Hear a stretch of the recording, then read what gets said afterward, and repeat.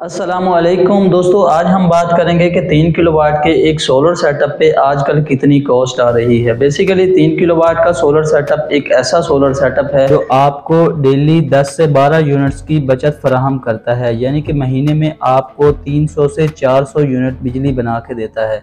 इसमें कितने solar panel लगेंगे, कितनी बैटरीज लगेंगी, कौन सा स्टैंड लगेगा और बाकी क्या क्या चीज़ें दरकार होंगी, उन सब की मालूम और इस पर कितनी कीमत आएगी, ये सारी तफसीलात होंगी आज की इस वीडियो में। इसमें आप अपने घर का एक अदद डेढ़ टन इन्वर्टर एसी उसके साथ चंद एक पंखे लाइट्स और फ्रिज वगैरह को सोलर सिस्टम पे पूरा दिन मुफ़्त में चला सकते हैं। इस सोलर सिस्टम के लिए सबसे पहले चाहिए होगा हमें एक तीन किलोवाट का सोलर इन्वर्टर जो कि आपको मार्केट में एक लाख पचास हज़ार से दो लाख तीस हज़ार रुपये तक आजकल देखने को मिलता है। उसकी वजह यह है कि इनोरेक्स का जो नाइट्रोक्स इन्वर्टर है, वो आपको दो लाख पैंतीस से चालीस हज़ार रुपये में देखने को मिलता है। और अगर आप वहीं पे विरॉन या कोई और इससे कम कीमत वाला इन्वर्टर खरीदना चाहते हैं तो वो आपको एक लाख पचास हज़ार रुपये में ईजिली मिल जाएगा। उसके बाद तीन किलो वाट के इस सोलर सेटअप के लिए हमें चाहिए होंगे 550 वाट के छः अदद सोलर पैनल आजकल अगर सोलर पैनल्स की प्राइसेस की बात करें तो अगर आप ए ग्रेड सोलर पैनल 10 साल की वारंटी के साथ खरीदते हैं तो वो आपको तकरीबन कोई पैंतीस हज़ार रुपये में कॉस्ट करेगा।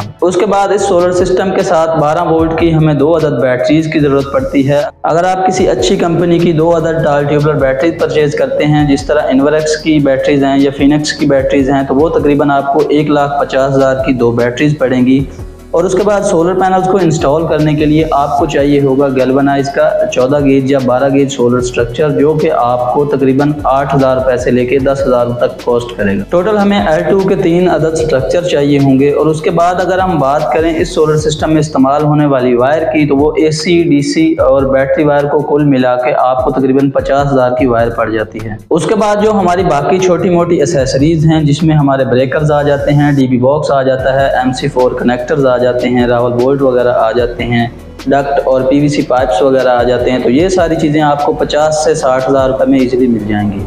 इस तरह से कुल मिला के नवंबर 2023 में आपको ये एक तीन किलोवाट का सोलर सेटअप तकरीबन छः लाख से लेके छः लाख पचास हज़ार रुपए तक कॉस्ट करेगा। अगर आप सेम तीन किलोवाट का सोलर सेटअप थोड़ा सस्ते बजट में लगवाना चाहते हैं तो आप बिल्कुल लगवा सकते हैं। आप जियोनिक का या फिरोनस का सस्ता इन्वर्टर यूज़ कर लें।